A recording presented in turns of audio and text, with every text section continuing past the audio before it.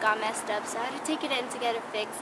And they actually um, got it fixed pretty quickly, so I'm back. I kind of liked it though because I was working on a few videos for Awesomeness TV, so expect some videos of me on Awesomeness TV. So I decided to do a back to school outfits idea video because when I was trying to film a video for you guys and my camera messed up, I was trying to do a fashion video, so I haven't done one of these and they're so much fun, so maybe it is a little too early to do, to do one of these, but mm, I don't care. Anyway, I'm going to ask you guys to please let me know what outfit you think I should take to the first day of school because I've been debating on it and I don't know. And I think I have an idea of what but I just want to know what you guys think I should wear and also what outfit you would wear alright? So without further ado I hope you guys enjoy this So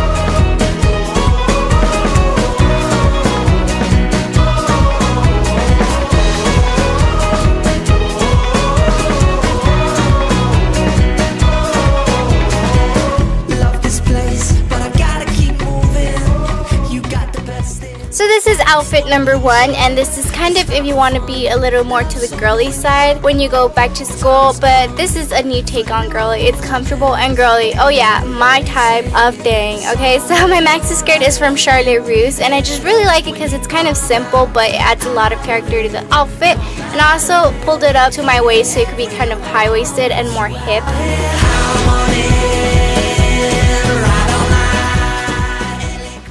Course, anything high-waisted must go with a crop top. Mine is from Charlotte Russe. It has a really cool low drop in the back and I just think it kept it really simple but cute and of course you're going to stay comfortable.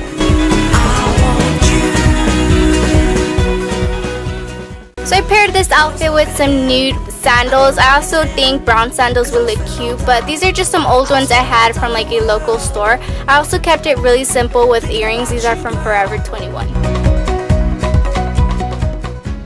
And that was outfit number one.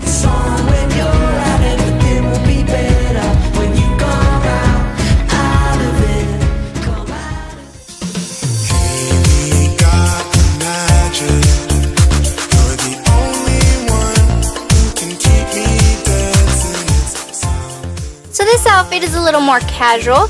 My circle skirt is from Forever 21 and it's just a basic black circle skirt. I feel like this should be like a must-have. It's really cute and it seriously goes with a lot of things. It just kind of spices up an outfit. So since it is a little high-waisted, I paired it with a lace cami crop top from Tilly's. I swear Tilly's is my new favorite store. They have the cutest clothes and it's not too expensive. But yeah, this is where I got the crop top. But I also layered it with this kind of camel green button-up from Forever 21.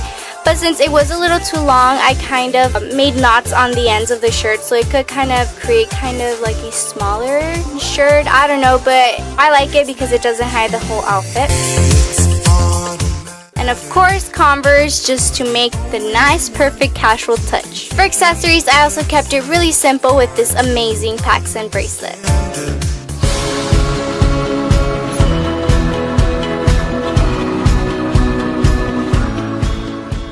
So this is an outfit I would pretty much go for every day.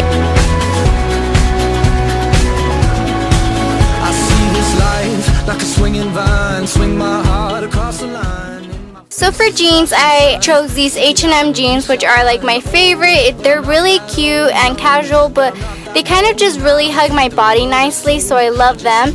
And then for top, this is my cute Forever 21 cool kind of eagle vintagey top.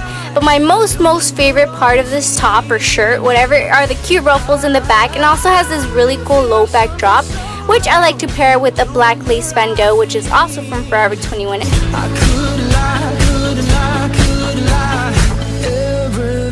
that kills me makes me feel alive. I've been, I've been.